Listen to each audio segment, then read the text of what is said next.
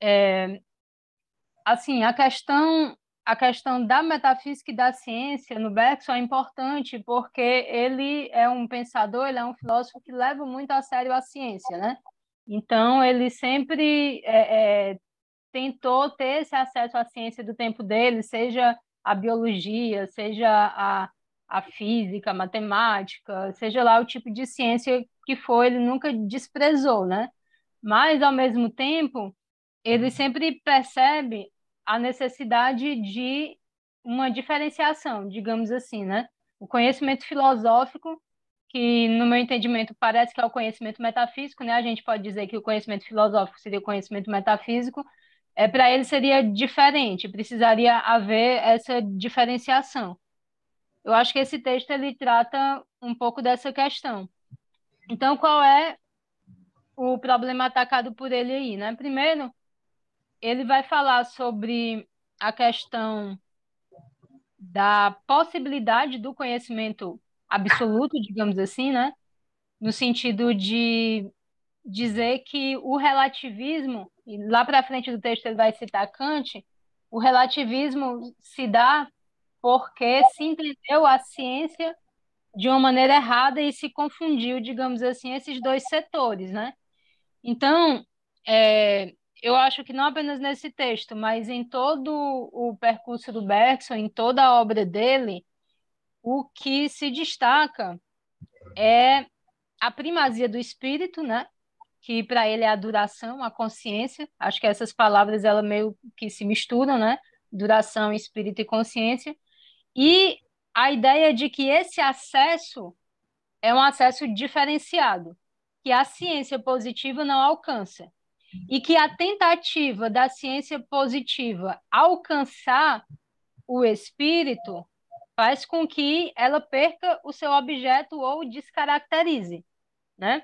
Então, é justamente da necessidade de preservar o espírito que ele vai desenvolver a intuição como método.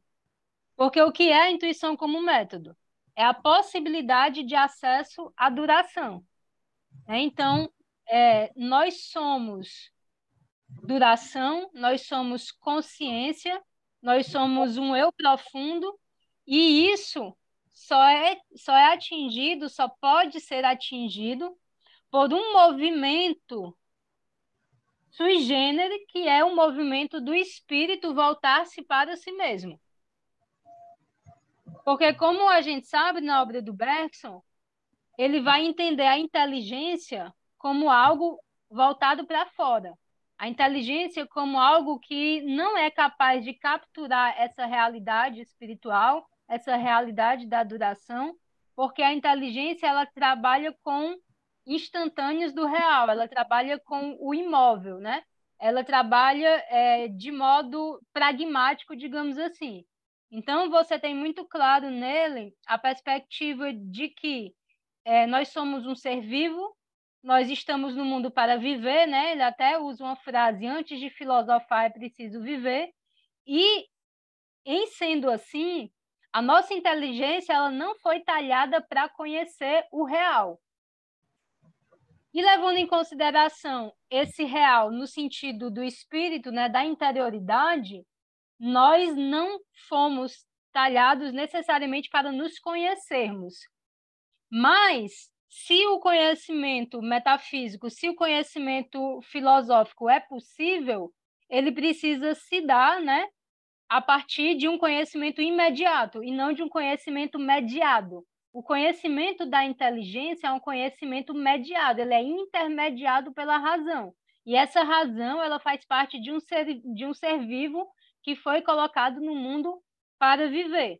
Então, é, a, a ideia de que é possível esse conhecimento, né? É o que vai desdobrar a ideia da intuição como método. Então, é possível que eu tenha acesso ao real, à duração, ao espírito, porque é possível que eu tenha um acesso a mim mesmo. E aí eu tenho que partir desse acesso imediato que eu tenho a mim mesmo para, a partir daí, conhecer as outras coisas. No sentido de que o real, ele mantém analogia, o real não apenas no sentido meu, do meu eu profundo, mas o real metafísico, né? Ele mantém uma analogia com isso que eu descubro em mim. E aí a gente precisa entender toda a, a riqueza, né, a exuberância desse eu que é possível é, se acessar, digamos assim, por meio da intuição. E aí o Bergson, ele trata disso na tese de doutorado dele, que são os dados imediatos da consciência. Então, nos dados imediatos da consciência, o que é que ele vai mostrar? Ele vai mostrar que é, esse eu profundo, ele é uma multiplicidade qualitativa heterogênea. É uma unidade, ao mesmo tempo é uma multiplicidade heterogênea dotada de uma qualidade, o que significa dizer que eu não posso acessar no sentido que a psicologia da época tentava acessar, no sentido de dividir, né, como estados de consciência, como partes, porque na verdade nós somos um contínuo. Então eu acho que esse aspecto é importante. Nós somos um contínuo, não há parada. Então a consciência é uma espécie de novelo, né? É uma espécie de, de bola de neve, é algo que, que, se, é, que se enriquece constantemente, né? E que não para, é uma melodia inconclusa, como ele diz. Então, sempre que eu tento capturar isso, no sentido de, de, de é, no sentido do conhecimento, eu descaracterizo como eu descaracterizaria uma melodia se eu a interrompesse. Então, claro, a ciência ela precisa fazer isso, porque senão ela não consegue trabalhar, ela não consegue acessar. Mas aí, quando você acha que essas partes, né, na qual você você é, dividiu, digamos assim, essa personalidade, que na verdade é algo inteiro e profundo. Você imaginar que essas partes são o real, aí já vai uma grande diferença. Então, é mais ou menos isso que ele vai apontar, no sentido dessa, dessa tentativa, né? É, da, da psicologia acessar o espírito, acessar o eu, acessar a duração dessa maneira, como se fosse possível, né? é a coisa do associacionismo, né, dos estados de consciência, como se fosse possível, porque todo ato de consciência ele pressupõe a inteireza da personalidade. Eu não consigo, é, é, é, eu até tento, né? Eu tento, mas eu já estou analisando. E aí entra no texto. É, uma coisa é a análise, outra coisa é a intuição. A análise ela vai da, da ela tira, ela trata das partes, né? E a intuição, ela se coloca de imediato no todo. Então, eu posso partir da intuição, me colocando no todo, me colocando no real, para a partir daí eu analisar, para a partir daí eu conhecer no sentido mais científico. Mas eu não posso partir do inverso. Eu não posso pegar esses retalhos né, de, de estados de consciência, de, de é, é, para a partir daí eu chegar à interesse de uma personalidade. E tudo isso que a gente está falando em relação à, à pessoa, em relação à psicologia, a gente pode pensar em relação às outras ciências também. Porque, por exemplo, quando ele vai falar é, lá na evolução criadora e tudo, ele vai mostrar basicamente a mesma coisa. Que a biologia, enquanto ciência, tentava é, é, dar conta do real, quando na verdade estava dando conta de algo que não era o real. Que era. Por quê? Porque o movimento real é, não era capturável daquela maneira.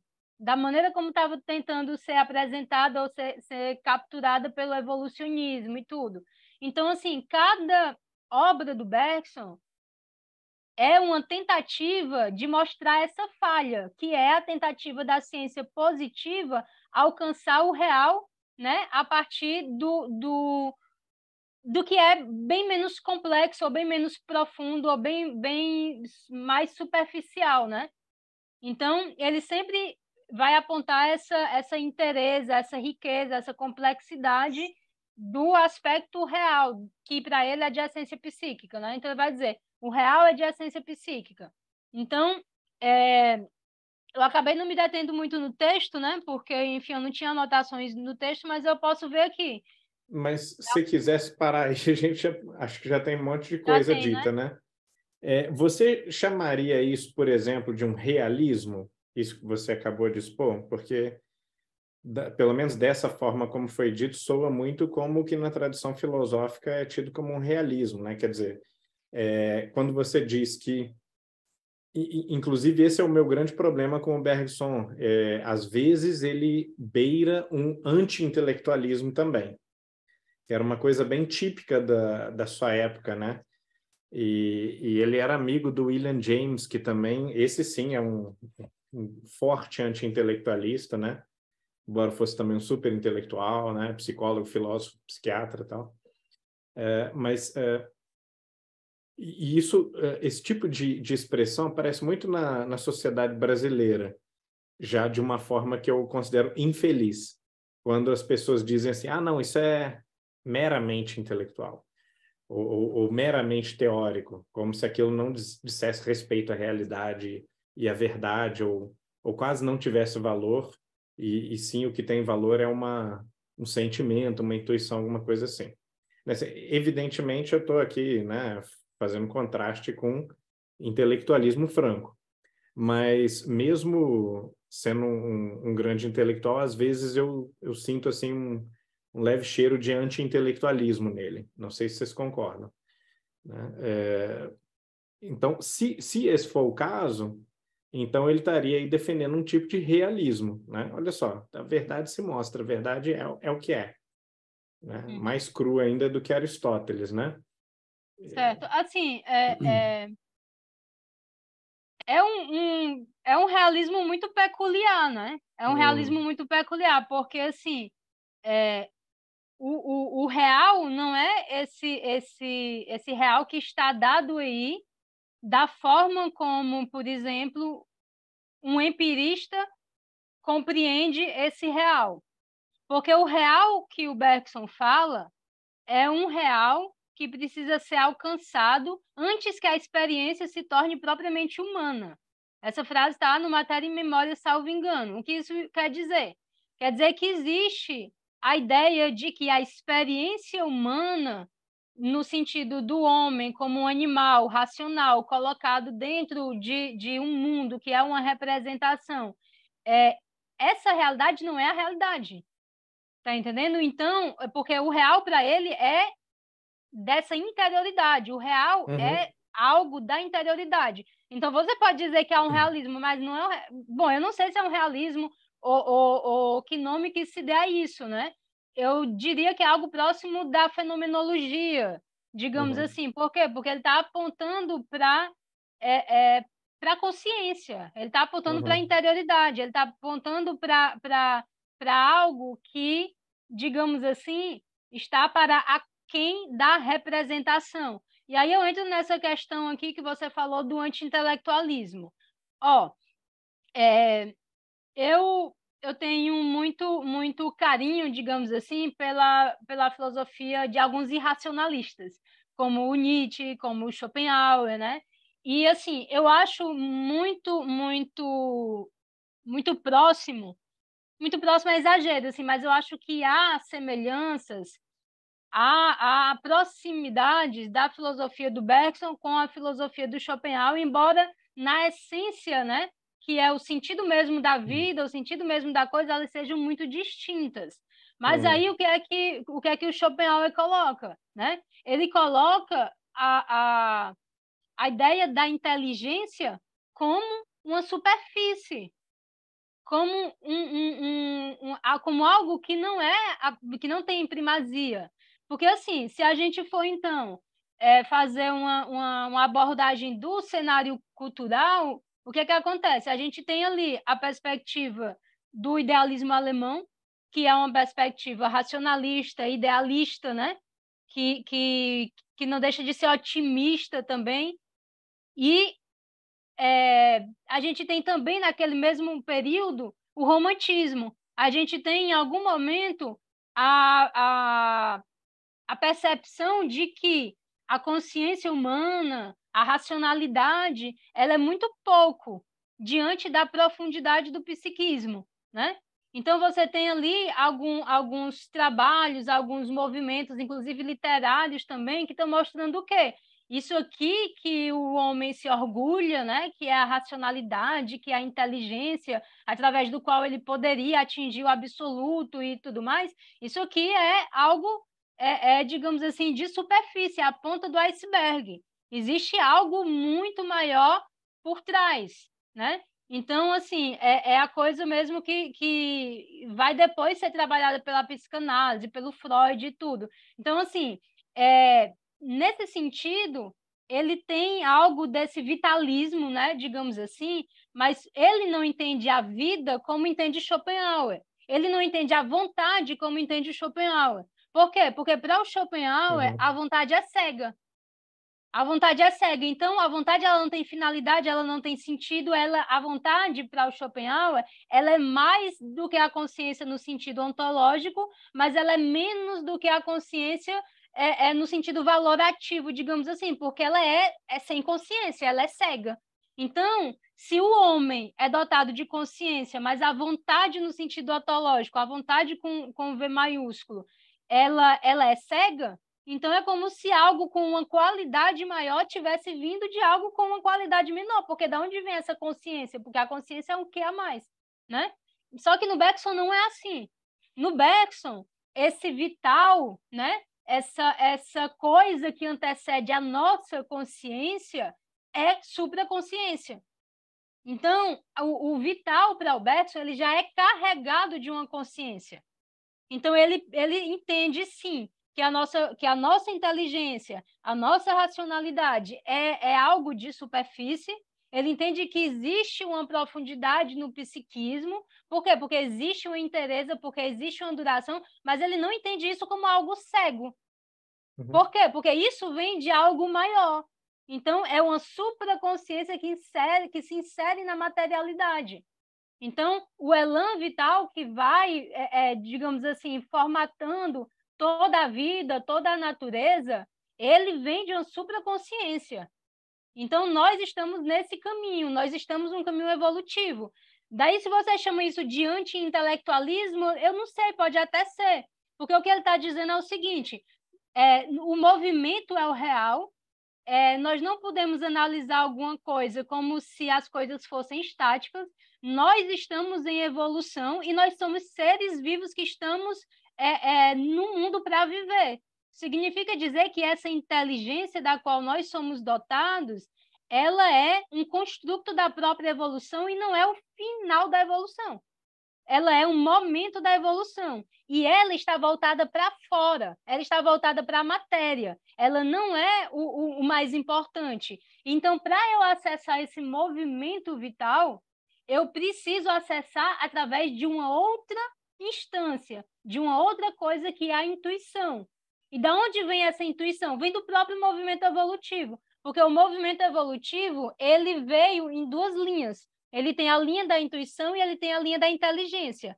A inteligência possibilitou muitas coisas, mas a intuição, no sentido do instinto, ela tem aquela, é, é, digamos aqui, aquela aderência à vida. E no ser humano seria possível eu juntar as duas coisas, de modo que essa intuição para o Bergson não é um irracionalismo, é como se fosse o espírito voltando para si mesmo, é, através da, da, da possibilidade de resgatar uma franja de, de uma potencialidade que ficou ali difusa.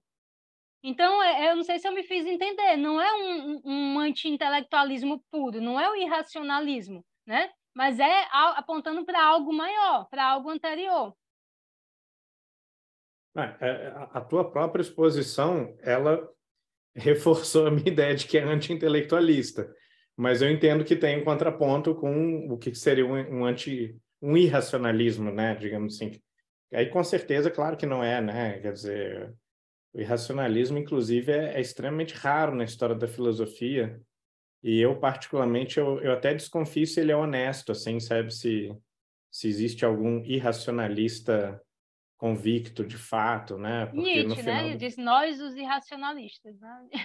É, mas assim, tanto Nietzsche quanto mais ainda Schopenhauer, quando, quando você vê no final das contas, tá explicando tudo direitinho e tal. Então, no, no, final das contas, não é um... O que, que seria um irracionalista pleno, na minha opinião, né? Seria é, essas pessoas que você encontra no bar e tal, né? Numa rave e tal, né? Que os cara, cara não acredita na possibilidade do discurso racional oferecer nada, né? Então não tem como ele gastar 40 anos escrevendo, né? Uma explicação de que na verdade não tem explicação. Né? É, o próprio Nietzsche zombra do Epicuro, né? Quando ele diz assim, Epicuro é um anti-intelectualista, debocha dos, dos filósofos que gastam as suas vidas na biblioteca, só escrevendo, sem viver e tal, sem sem ter contato com a vida em si, com a pulsão vital em si e tal, né? E aí, para fazer essa boa crítica aos acadêmicos e aos intelectualistas, ele escreveu 150 livros. então, quer dizer, é uma forma fantástica de você ser um anti-intelectualista. Mas uh, eu concordo, o Bergson é um intelectualista, assim, consequente, com certeza. Um anti-intelectualista consequente, talvez. Mas no, no momento você diz que é uma coisa superficial, e é o que parece pelo texto aqui também, né? Quer dizer, é, William James, que era um anti-intelectualista convicto e que também era um super intelectual, é, ele vai definir a mente como tendo momentos é, transientes e, e, momentos de permanência, ou, ou, transitivos e substantivos, alguma coisa assim. Que eu acho que é bem a cara desse capítulo e se você está me dizendo, eu acredito que, que o Bergson bate nessa tecla o tempo todo, que essa, esse é o mote fundamental dele, William James é, é muito parecido com, com isso. Ele vai dizer, olha, como psicólogo, né, mais do que como filósofo, a, a mente é como se fosse um pássaro que ela tem os, os seus momentos de voo, esse é o momento transitivo da mente, quando a mente está buscando um lugar para pousar a atenção. E tem os momentos substantivos, que é quando a mente pousa e presta atenção naquela ilha, por assim dizer. Né? Aí, naquele momento, ela fecha o leque da atenção, para de devanear de uma maneira livre e tal. E aí depois, né, Freud e Jung vão chamar de inconsciente, inclusive. E, e, e, vai dar total atenção a uma sementinha no chão, alguma coisa assim. Ou um galho, parceiro tal. É, depois, quando acabou o interesse, vai haver uma vagueza na mente, uma talvez o, o que o Bergson chamasse um pouco de intuição, né? Então abre-se o leque de infinitas possibilidades. O pássaro não sabe para onde ele voa agora. Então nessas infinitas possibilidades ele vai alçar voo e vai haver um momento de novo transiente ou transitivo da mente. Esse momento transitivo é a vida verdadeira. É, é você sendo você. Só que você sendo você é mais do que você, porque é uma abertura para campos infinitos de, de possibilidades, né? Então você não tem personalidade fixa, você pode se surpreender consigo mesmo, né? Aí de repente você vê uma outra ilha lá na frente, ali tem melancia, eu gosto de melancia. Aí abaixa e agora a mente analítica, né, que é o momento substantivo, vai ver ali se é muito ou pouca melancia, se está verde e tal. Então, todas essas preocupações, William James vai dizer, são as preocupações intelectuais. Uhum. E esses momentos transitivos, eles são é a psicologia profunda ou aquilo que, na verdade, rege e determina o seu interesse é, intelectual e analítico, né? O que, que você acha disso? O que, que vocês acham todos? É, eu, eu falar um pouquinho e depois eu passo a, a palavra para a colega aí que é psicóloga, que ela pode, pode ajudar a gente também. É, mas, assim, é, eu queria continuar batendo na, na tecla do anti-intelectualismo, porque é, eu acho que para você é como se fosse uma, uma, um ponto negativo, digamos assim, no Bergson. Não que eu precise defender ele tudo, mas, é, mas pelo menos tentar esclarecer aquilo que, que eu compreendo né, da filosofia dele. Como eu falei no início, o que interessa ao Bergson é o espírito, né? que para ele é consciência e que para ele é duração. Você falou algumas palavras aí é, é, importantes, como, por exemplo, interesse, tensão, quando você está falando no William James. Realmente, é, parece que tem, tem, uma correspondência né, do Bergson com o William James, é algo muito parecido mesmo, tudo, é, é, tudo bem. Mas, mas vamos lá. A questão do Bergson é, me parece muito ligada com, com essa perspectiva evolucionista, né? no sentido de compreender é, também não deixar de lado, não descurar o fato de que nós somos seres vivos. Nós somos seres vivos. Isso é importante, porque quando ele mostra isso, ele está dizendo o seguinte: nós não fomos feitos para filosofar, nós fomos feitos, né, na forma como nós estamos aqui, para viver. De modo que a nossa inteligência, ela não está, é, digamos assim, programada para filosofar. Ela não está programada para acessar o real. Ela está programada para agir sobre a matéria.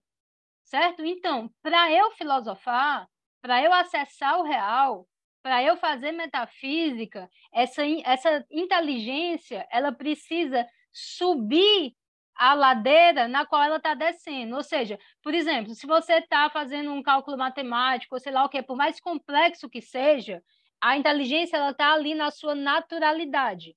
Mas quando você fala inteligência, você entende também o espírito em um determinado modo de tensão. E aí a gente tem que entender que a inteligência para o Bergson, ela é um tipo de tensão do espírito. Mas o espírito, ele não se tensiona apenas dessa forma. Ele pode é, é, jogar a atenção dele para uma outra esfera. Então, tudo também é uma questão de atenção. A consciência é o espírito, é a duração. Essa consciência ela pode estar voltada para fora. E ela está voltada para fora. Como ela está voltada para fora, ela espacializa. Aí se dá esse mundo como representação aqui que o Schopenhauer fala, né? A gente começou falando de Schopenhauer. O que é que o Schopenhauer vai dizer? Existe o um mundo como vontade e o um mundo como representação esse mundo como representação com o qual os cientistas lidam, achando que estão lidando com o real, ele é apenas representação. Ele é a matéria entendida e compreendida apenas do modo que a inteligência é capaz de compreendê-lo. E a inteligência ela não é capaz de compreender o movimento. E aí tem toda a análise que ele faz do movimento, que ele vai dizer eu não alcanço, eu, eu tiro pontos, assim, eu meço, mas eu não, eu não alcanço o movimento a não ser que eu me mova com ele. Então, Parece que muito que... com Schopenhauer mesmo. Engraçado que eu nunca tinha feito essa associação, porque, num certo sentido, são absurdamente opostos, né? Mas nesse sentido, realmente parece muito. Eu fiz porque eu, a, a, o meu, a minha dissertação foi sobre Schopenhauer e a minha tese foi sobre o Bergson. Então, eu, eu precisei fazer, fazer, acertar as contas com o meu amigo Schopen, né? Precisei acertar as contas com ele. E isso é o começo da minha tese de doutorado. Mas é justamente isso. Essa realidade que para o Schopenhauer é irracional, né? Para o Bergson não é irracional. Para o Bergson é, digamos assim, algo é, que não é capturável pela inteligência, porque a inteligência ela está voltada para a matéria, ela está voltada para um, o, inerte, a inteligência ela geometriza, a inteligência ela, ela tira instantâneos do real, ela não acompanha o movimento. Mas o que, é que ele vai dizer? É possível o acesso a esse real. Como é que é possível esse real? Através da simpatia. Por quê? Porque a identificação, através da intuição. O que é a intuição? É um movimento, é, é um, um, é um conhecimento imediato. Então, a, a filosofia sempre tratou disso, de um conhecimento imediato e um, e um conhecimento imediato. Esse conhecimento imediato eu não posso ter das outras coisas, eu posso ter de mim mesmo. Então, a filosofia ela precisa partir daí. E isso tem muito a ver também, todos os pensadores que partiram desse ponto da consciência, é, eles têm uma certa proximidade. É, Por exemplo, você pode. São cartesianos, num certo sentido, é, né? Pronto, eu ia falar justamente do Descartes. Então, o Descartes vai dizer o quê? É, cogito ergo sum. Então, ele achou aquele núcleo duro a partir do qual é, se pode fazer filosofia, né? O ponto arquimediano lá da filosofia. Só que esse, é, a gente sabe, né, pelas, sei lá, pelas críticas do Nietzsche, ou tudo, tudo, esse ego, esse, esse cogito, ele é muito, muito superficial também. Ele é muito no sentido intelectualista, né? Mas é, é, o que é que ele está apontando? E o Schopenhauer diz isso também, tipo, todos esses filósofos que partiram desse ponto, eles começaram a, a fazer filosofia de verdade. Esse ponto, o quê? A consciência. A consciência. Né? Para o Schopenhauer seria é, é, tipo aquilo que eu parto na filosofia não é propriamente a consciência, mas para ele é a vontade.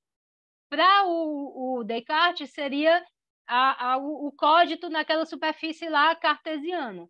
E para o Bergson seria a duração, o espírito. Tudo é uma espécie de interioridade que cada filósofo desse interpreta à sua maneira. O Descartes interpreta numa superfície, né, do pensamento, ali a superfície do pensamento, do eu pensante, da subjetividade, aquela subjetividade meio superficial. O Schopenhauer, ele entende no sentido volitivo, né? No sentido volitivo e não no sentido da consciência. E o Bergson entende no sentido de uma de uma consciência, no sentido de, de algo de algo que não é, é, é digamos assim, irracional como no Schopenhauer. E aí ele parte daí. E é desse ponto que eu tenho que partir. Eu tenho que partir dessa intuição.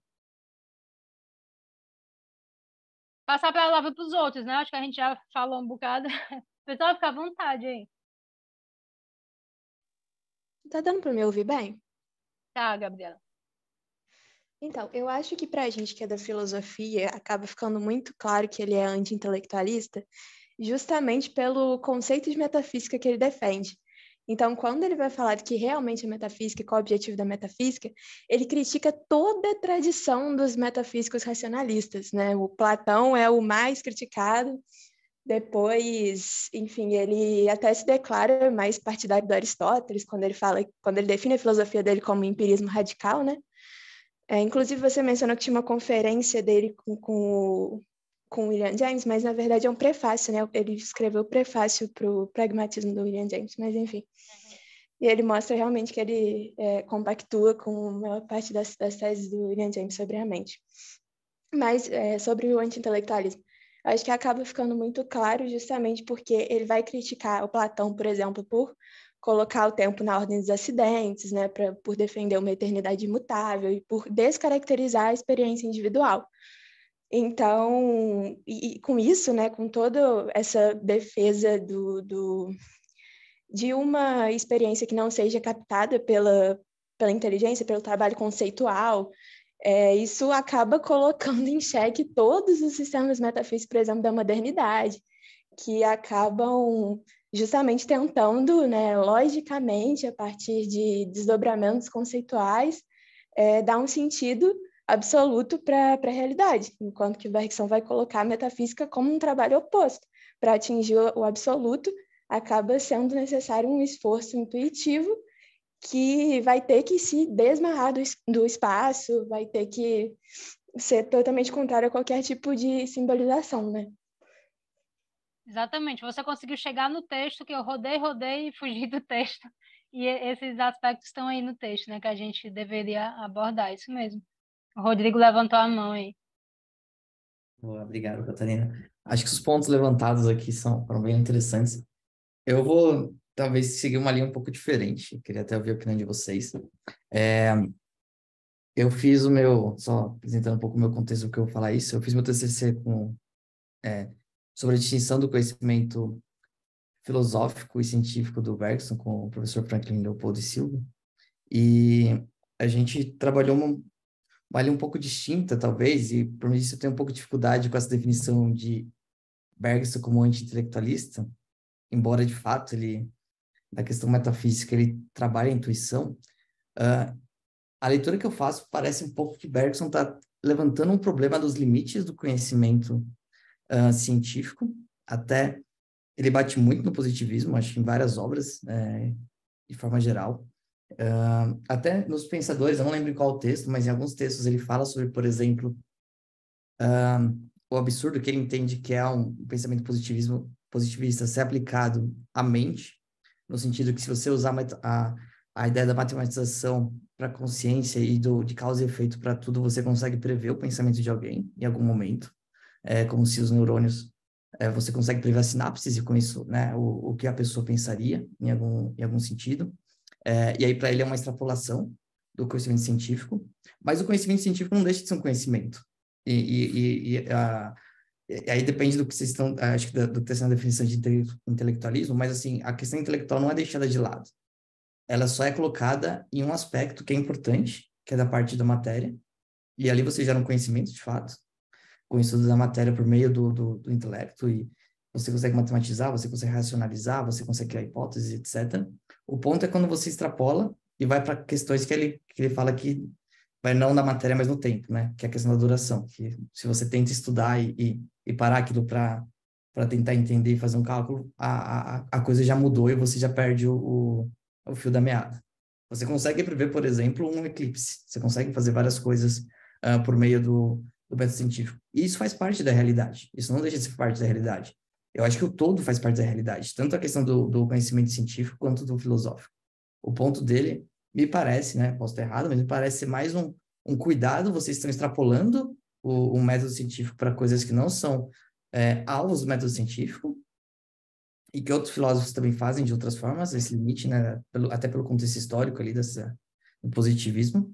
É, mas isso não, tipo, diz que, por exemplo, todo conhecimento que é válido é só um conhecimento intuitivo. Você tem outros tipos de conhecimento também. Mas para você entender a mente humana, é só pela intuição, por conta do movimento, né? E, e aí eu acho que, para mim, a grande dificuldade que eu tenho com o Bergson é, é como é que você extrapola esse conhecimento intuitivo para além de si, né? Que em alguns momentos ele dá a entender que, tipo, ele dá o exemplo de si mesmo várias vezes, como, ah, isso é possível, olha como eu consigo conhecer a mim mesmo de forma intuitiva, dando a entender que você consegue conhecer outras formas também intuitivas, mas ele nunca consegue mostrar como você consegue ir além de si mesmo de forma intuitiva. Né? É, para mim, acho que essa é a grande dificuldade. Parece um, que o conhecimento intuitivo ele se restringe à própria pessoa só, embora no texto ele dê a entender que é um conhecimento que pode ser para outros aspectos da realidade, mas ele não explica como chegar nisso. Uhum. Deixa eu aproveitar assim para falar um pouquinho sobre o que vocês falaram, né? Eu achei bem interessante, eu acho que é isso mesmo. Tanto você como a Gabriela trouxeram isso que eu ainda não tinha chamado a atenção, que é a questão do limite do conhecimento, do conceito. Esse texto específico, ele trabalha muito isso, né? Então, é, talvez eu não tenha muito problemas com que o professor Humberto chama de anti-intelectualista, porque eu sempre me senti assim, eu sempre fui uma, é, eu sempre, sempre me apaixonei pelos filósofos que davam conta de que a filosofia não pode partir do conceito, né? Por isso que eu me apaixonei pelo Schopenhauer, de cara, porque ele já sai ali tratorando Hegel, mostrando que você não pode é, é, partir do conceito, porque o, o, o real não é racional. A coisa mais maluca que você pode que você pode dizer é justamente aquilo que Hegel disse: o real é racional, o racional é real, né? Então, para o Schopenhauer, isso seria o, o, o, absurdo dos absurdos. Então, assim, é, essa essa essa pretensão de através da razão, né, como uma categoria do entendimento, né, você alcançar o absoluto, isso aí é, é, é algo que o Schopenhauer se batia muito, né? E é muito interessante esse aspecto, porque se você pega todo aquele movimento ali do, do idealismo alemão, você tem é, um pessoal, isso aqui é importante, você tem o pessoal falando numa intuição, mas é uma intuição racional. Aí você tem o Schelling, né? Você tem o Fichte, você tem o pessoal que fala na possibilidade de conhecer o absoluto, mas através de uma intuição racional do absoluto. E aí o, o Schopenhauer vai é, dizer que isso é absurdo e tudo mais. Então, a intuição que o Bergson fala não é uma intuição racional. Por quê? Porque a razão, ela não intui. A razão, no sentido de, de da inteligência, é algo que está voltado para fora. Quem intui é o espírito. Então, a intuição, ela é um conhecimento imediato que eu tenho de mim mesmo, da minha própria realidade, né? Então, assim, a, aquilo que, que o Rodrigo chamou a atenção, né? A inteligência está voltada para a matéria. É, nesse sentido, não há anti-intelectualismo, a inteligência é algo extraordinário, inclusive do ponto de vista ali, da evolução criadora. É através da inteligência que a liberdade passa, né? Que a, o que o homem consegue criar a partir da inteligência. A inteligência deixa passar aquilo que é fundamental, mas o que é fundamental é a liberdade. A liberdade é o espírito, o espírito é a liberdade, o espírito é indeterminação. E aí chega em algo que, eu acho que também foi falado, né? Indeterminação, liberdade. Então, para o Bergson, quando você olha a, a, a, natureza, tudo ali são graus de consciência, né? A partir de uma, aonde há movimento, Aonde há movimento, há um, um, um, uma, uma hipótese de consciência, digamos assim. Não há uma consciência propriamente dita, mas há um rudimento de escolha, onde há um rudimento de escolha, há um começo de indeterminação. E onde há um começo de indeterminação, a ciência positiva já não pode chegar é, da maneira que ela quer chegar, porque ela não capta bem essa indeterminação, né? Porque a inteligência, ela capta bem o determinado. Ela capta bem aquele lugar de causa e efeito. A natureza dura, né? Mas onde há vida, né? Onde há movimento, aí a coisa já pede algo mais. Então, esse algo mais é justamente esse outro modo de acesso. E é preciso que haja esse outro modo de acesso, é preciso que haja a filosofia, senão vai se fazer ciência descaracterizando esse real, né? E aí você vai achar que tudo é matéria. E aí você vai tentar o absurdo de capturar a psique humana como se ela fosse capturável nesse sentido, e não é. Né? Então, é, é, é basicamente isso. Ora, se ali, onde há um princípio de movimento, um movimento ameboide, é um movimento lá para pegar um, um, Ali já é um rudimento de escolha, você já não pode explicar aquilo no sentido do, do, do inferior pelo superior. Acho que esse aspecto é importante. O Bergson ele está dizendo que a explicação das coisas ela tem que ser do superior para o inferior e não do inferior para o superior. Eu não posso explicar a vida a partir dos elementos químicos. Eu não posso explicar a consciência a partir dos movimentos cerebrais. Eu não posso explicar o espírito a partir da matéria. Então, eu tenho que me colocar nisso que é o maior, porque eu também estou nesse movimento, eu também estou nesse absoluto, eu estou mergulhado nesse absoluto, então eu tenho que partir daí, sentir o que é isso, sentir isso que eu sou, para poder entender que ah, na natureza, o real da natureza é esse movimento, da mesma forma que dentro de mim, né? O meu interior, ele é essa exuberância, essa indeterminação, essa riqueza, essa melodia inconclusa, essa, é, isso que eu praticamente não tenho acesso, da mesma forma que, que isso é em mim, isso é um movimento vital. E aí aquilo que tu falou, né? Que ah, como é que sai, Rodrigo, como é que sai da intuição, né, para os outros tipos de conhecimento? Aí a analogia ou simpatia, né? Analogia ou simpatia. Eu não posso. Por isso que eu digo que tem uma, tem uma, uma proximidade com a fenomenologia. Esse também é o problema da fenomenologia, né? Como é que eu, eu, eu entendo a minha consciência, eu dou conta da minha consciência, como é que eu posso dar conta da consciência do outro? Aí você vê lá Edith Stein, empatia. Existe um ato de consciência no ser humano que é um ato de consciência próprio de reconhecer o outro ser humano, que é a empatia.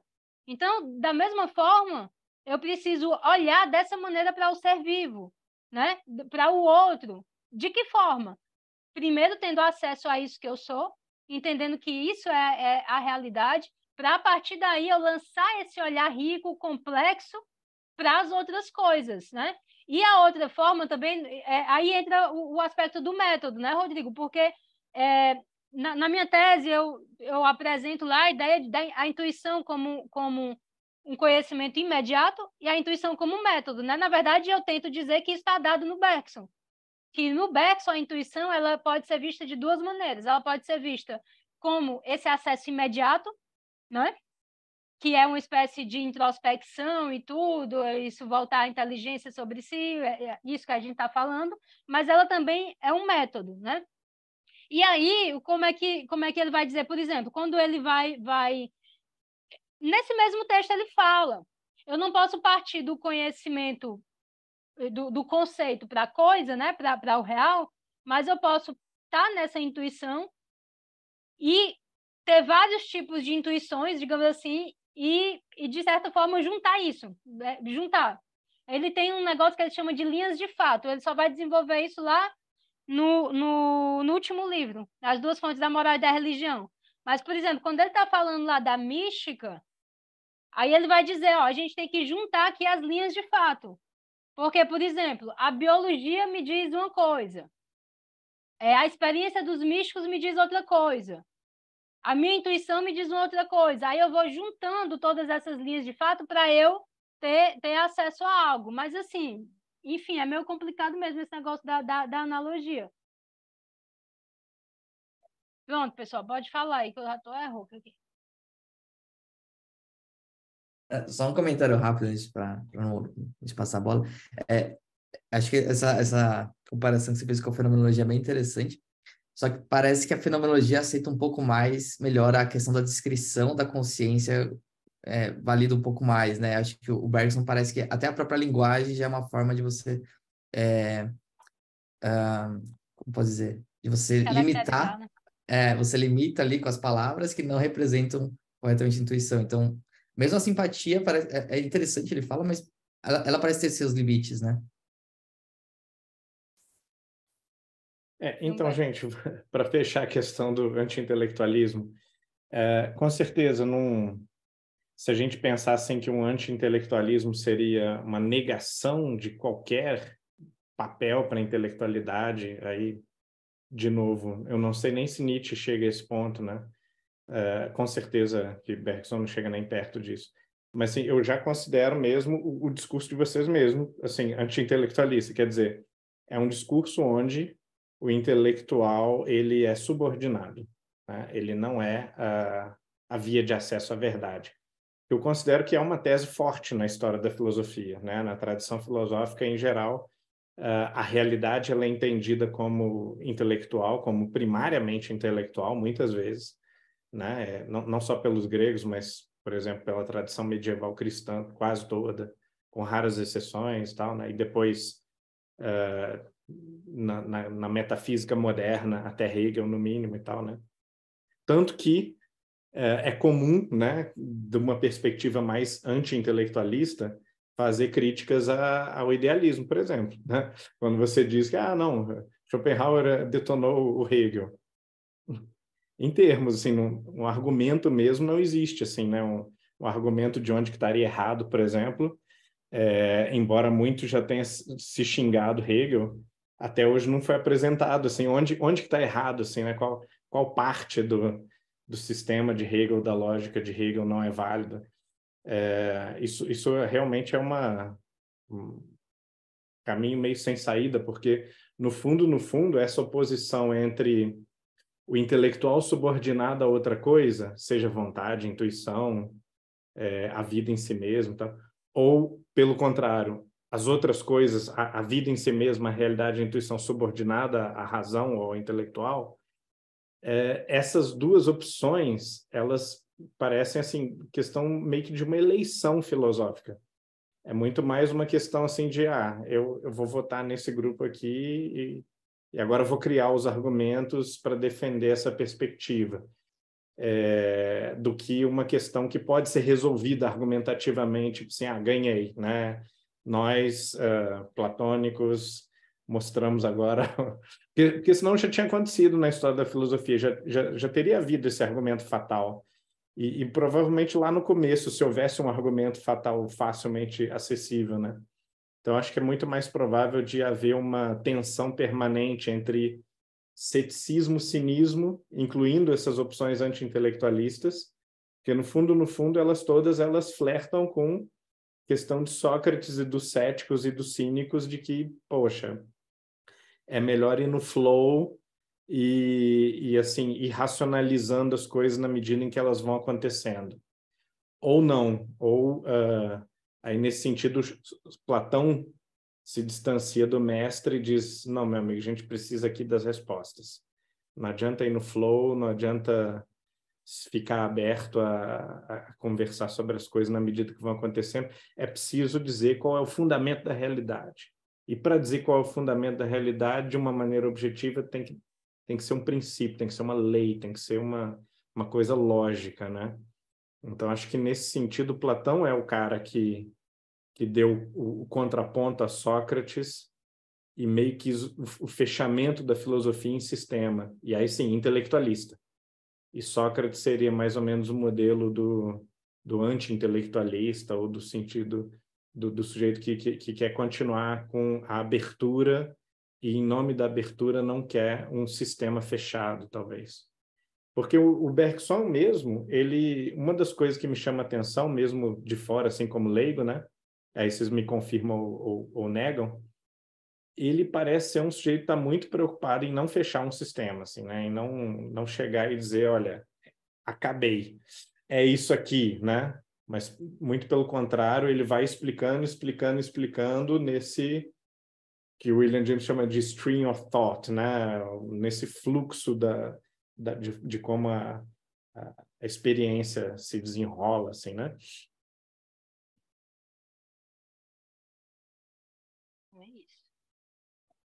Estou calada aqui porque eu já falei demais, mas... Não, eu, eu passei cinco anos sem estudar o Bergson, aí hoje eu voltei a falar, né? Por isso que eu estou empolgada, assim. Eu, eu, defendi minha tese, aí dei um tempo, fui navegar em outros mares, e aí eu me lembrei como, como é interessante. Bom, é, o, o que é que o Hegel está errado? Eu acho que o que ele está errado é que o real não é lógico, né? O real não, o real não é racional, simplesmente, mas, mas tudo bem, isso aí é arenga para outra hora. Mas, mas a prova é que são... a prova é que são outros 500, né? Que eu não sei se foi... Até hoje acho que não foi apresentado uma prova, entendeu? Existe essa alegação, assim, não, não é, mas Schopenhauer se limitou a fazer isso, né? Aí xingou bastante mas é mas, mas, mas, é assim, não é, questão, não é questão de prova, é a questão é justamente assim, é, o, que, o que você é, o ponto de partida da filosofia é esse conhecimento imediato, né? É isso que eu sou. Isso que eu sou é, é lógico, né? Isso que eu sou é, é, é uma mera racionalidade, é um extrato da razão. O que é, o que é isso que eu tenho acesso, né? Então, assim, é, eu, eu, eu tenho dificuldade de entender justamente como é que, a, como é que se consegue achar que a realidade cabe num sistema, né? num, sistema como o sistema hegeliano. Né? Que, é, que, porque é justamente isso que está dizendo, é, é uma outra coisa, é uma outra história. Então, assim, é, eu acho nesse sentido que a filosofia do Bergson ela é muito mais atual, né? Ela é muito mais atual, ela, ela lida muito melhor com todos os desdobramentos assim do, do, do que é o ser humano. Eu acho assim, se você você tem uma, uma metafísica, mas toda metafísica tem uma antropologia, tem uma visão do que seja o ser humano. E o ser humano é simplesmente essa coisa lógica, racional. Nós não temos pulsões, nós não temos volições, nós não temos o, o tal do inconsciente. Tudo isso não faz parte da gente, né? Tudo isso não tem uma profundidade. Então, assim, é, o, o, o que o Bergson mostra, né, é o cone invertido, que ele usa no Matéria e Memória, né, o cone invertido. Então, tudo isso que a gente tem acesso, inclusive de nós mesmos, é a ponta de um cone. Porque o real, ele está lá hum, abaixo, entendeu?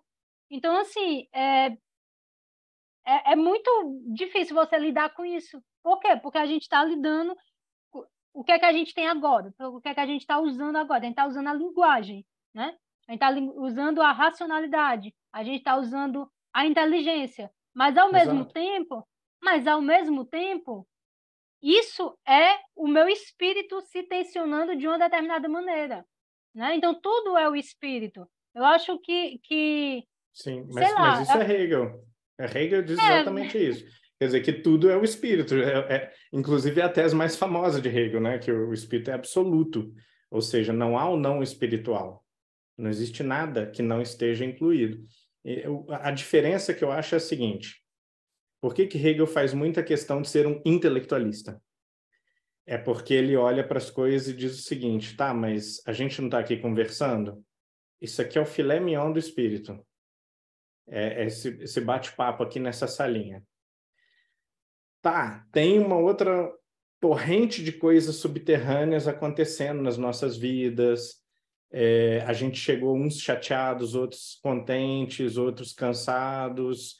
Tudo isso faz parte da vida, mas Hegel não nega isso de jeito nenhum, né? Ele vai, dizer, olha, o, o filé mignon do espírito, ou essa ponta do iceberg, como você disse, né? Ele, ele ia concordar com você. Ele ia dizer, só que a ponta é a melhor parte do iceberg, né? Quer dizer, existe sim uma massa de coisas que sustenta o iceberg, faz ele flutuar, mas a parte legal de olhar é a ponta, né? É, é isso que chama atenção de longe, é isso que brilha ao sol e tal.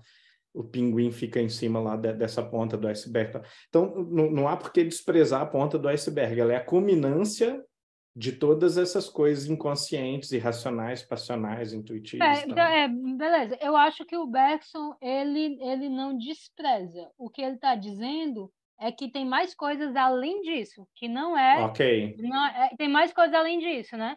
Ou, e, ou e...